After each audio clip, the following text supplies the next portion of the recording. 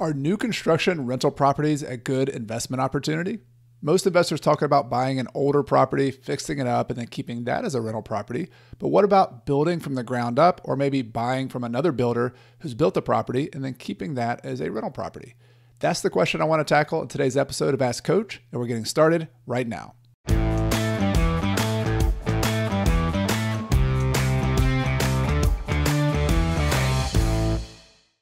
Welcome to the Ask Coach edition of the podcast. If we haven't met yet, I'm your host, Chad Carson. You can also call me Coach, and the mission of this show is to help you get out of the financial grind so you can do more of what matters. In the Ask Coach podcast series is where I do my best to answer your burning questions about real estate investing and personal finance. Today's question came from Heather Lauder, and the question was within one of my courses, a course called Find Your Focus, which is my beginner course, which helps you find your real estate investing strategy at the very beginning of your journey. I'll have a link to that in the video description and the podcast description. But this is a very timely question because her what she wanted to know is my thoughts or advice on whether it was a good idea or not to invest in what's called a build to rent strategy or a new construction rental strategy. And my short answer is yes, I think it is a good opportunity. It's something that I have done in the last few years with my own business partner in our investments. And I want to unpack a little bit and explain why I think it's a good opportunity, what some of the challenges are. And in general, why I like new construction rental properties is because you can buy and own a low maintenance rental. One of the biggest challenges of older properties, which I also love, I love older properties too, is that you have long-term capital expenses that often have been deferred. Maybe you have some plumbing, some electrical, some sewer lines that eventually are going to wear out. Everything wears out. You might have older uh, other pieces of the property structure that need to be fixed. So those are some long-term capital expenses that sometimes catch up with people. They don't realize those things are coming when they old, uh, own an older rental. There's also some layout issues often. If you don't fully remodel the property, it might just be dated in some some ways from this the flow of the property. So a new construction typically has more open floor plans. It kind of fits the current needs and current desires of the people in the market. So, for that reason, both from an operational standpoint, efficiency of maintenance, and also just a desirability standpoint, new construction is great. One of the challenges, or a couple of the challenges, are making the numbers work. So, if you're paying more for a property, construction costs have been going up and up and up. And so, you're paying more for a property often than you could for an existing older property especially back in the Great Recession, but even today, um, you can find existing properties you can buy for well below the replacement cost. And so that's a good uh, incentive to invest in existing properties. So when you buy a new one, it can be a little bit tougher to make the numbers work. And I'm going to talk some about the numbers and how you might be able to do that. You also have to get the money to build the property. So you have to buy the property, develop it, or somebody else is developing it, might have to loan the money to the builder or front the money for the builder to, to cover all the costs. And so where are you going to get that money? It's not quite as easy as going out getting a conventional loan, putting in some money down, and then buying the property. So, with those challenges in mind, though, let's talk about what a strategy might be. And I'll tell you a story of how we bought one new construction rental, and then I'll unpack a couple more ideas. So, we bought a property in a little town next to our my town in Clemson, and the the situation was a builder was developing several lots, and we ended up selling another rental property we had, and we didn't want to pay taxes on it. We did a 1031 exchange and we negotiated to buy one of these properties from this builder. So we bought it, I believe, for 140,000, which was two or three years ago. Which is, that property is now worth 220,000. So it's gone up a lot in value. But even when we bought it, he gave us a pretty good deal, and it might have been worth 170 or so when we bought it. So we bought it below the full value. You might not be able to always do that, but I think even if you bought it for 170, in that case, the full value, it might have made sense because we rented the property for about $1,300 right off the bat and had again very low maintenance costs. But we still had taxes, insurance, things like that. And it's been a pretty good, not a home run cash flow deal for us, but a solid cash flow deal. And also, I really like this location. It was kind of an infill, what's called infill. Instead of being on the outskirts of town, it was within a town, kind of close to the downtown square. I already knew this location. We had rentals right around the corner from it. And so we picked the location first and liked that location and bought a new construction rental there. So we're, we're investing in that location for the long run. It's a buy and hold property, and it's turned out really well for us. And we also had the 1031 exchange, which is a whole nother topic, but we didn't have to pay taxes on the other sale. And now our basis, our, our equity that was from that other property is now in this new construction rental. So that's my story. But how could you do that? So if you, especially if you're not a builder, um, if you are a builder and you are in the construction business, I would say strategy number one is you instead of just flipping properties, try to build one that you keep every once in a while. Maybe flip in four, five, six, and then pull one back and keep one every once in a while. Uh, builders are notorious for just selling, selling, selling. And often that's because of the financing. That's because they got to pay their overhead, and it's understandable, especially with today with the kind of the way the uh, supply chain and the labor markets are. It's that's a big challenge. But if you can wake up ten years from now as a builder and you kept back five or ten properties and in the good locations, and you know the the plan and you know the property, you built it yourself. What a great opportunity! What a great long term wealth building tool. So that's for the builders in the room or the people who have family members who are builders. If you don't, the strategy that I think would be a really good approach, and if I were out there buying, starting new, I would do a lot more of this myself, is that you as the investor go out and find the land, the lot to buy the property, and then you either pay a builder a fee to build for you. And this is going to be networking and finding that builder. That's going to be a step, of course, one you trust, one who could uh, do a good job for your building, um, but and also at a fee that makes sense for you but you hire the builder either to build your rental property for you or you partner with the builder. So here's a couple of ideas. Like, what if you go out and find a lot? Then I, have I've had several lots come to my desk just in the last week from wholesalers. I'm on wholesaler list in my area, and they know what I'm looking for. And so instead of just sending me properties, they're sending me pieces of land. So these wholesalers go out and find the lot.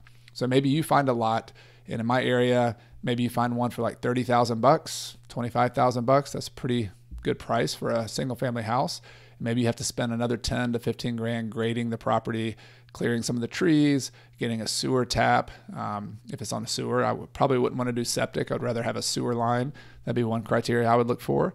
Um, but you spend the money, maybe 30 grand plus a 10, 10,000 in clearing cost. So you have $40,000 in this lot. And then you go to the builder, negotiate a fee. You all you talk about a plan. You figure out which plan would make sense for you. I like you know a three bedroom, two bath, simple layout, you know, not many lines on the roof, not many. I want to be, again, a very simple, efficient property that's also going to be desirable. So you're not building a 3,000 square foot house, probably going to be more like a 1,200 square foot house or 1,500 square foot house.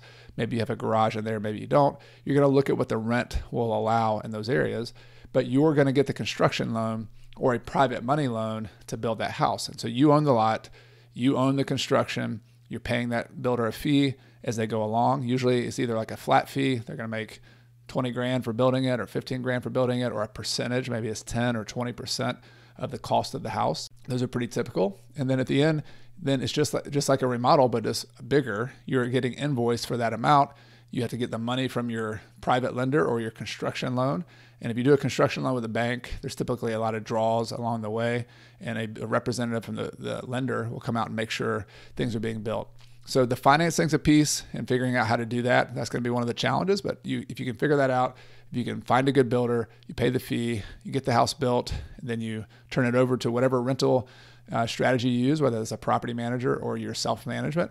You get it rented out just like you would any other property. So that's one strategy. Another strategy I like is instead of just buying the lot, maybe you could create the opportunity with the lot. So a lot of the times I've found properties where I understand the zoning of the property you find a single family house that has an extra big lot and you figure you look at your local zoning regulations on how wide lots have to be, what the density requirements are, and maybe you can carve off a lot from the house that you bought or the duplex that you bought and you can create a lot out of the property you already bought.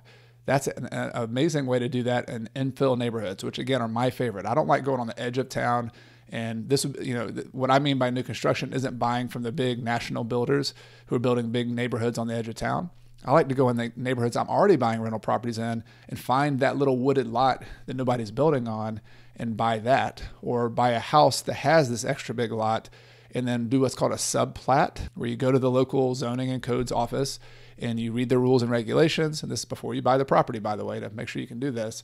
Then you get a surveyor and a, a landscape architect to draw up a new map, a new plat for that property.